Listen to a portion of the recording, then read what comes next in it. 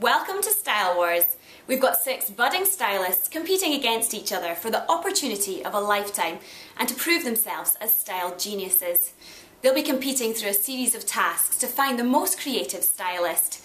It's time to sort the fashionistas from the fashionlistas. Welcome to Style Wars. Well, the thing that excites me most about packing for holiday is buying all my bikinis. So I went down to my local M&S and they had a huge range of swimwear and this is what I've picked. And finally, this is my innovation swimsuit.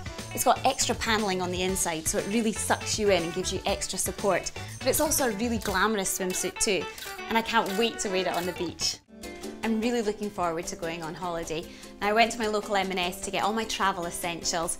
I've got all my clothes packed now. I've just got a few accessories to take with me as well. I've got this really comfy neck pillow. Finally, but most importantly, sunscreen. Don't forget to pack your sunscreen. It's so important that you protect your skin on holiday. Right, I think that's me just about finished packing.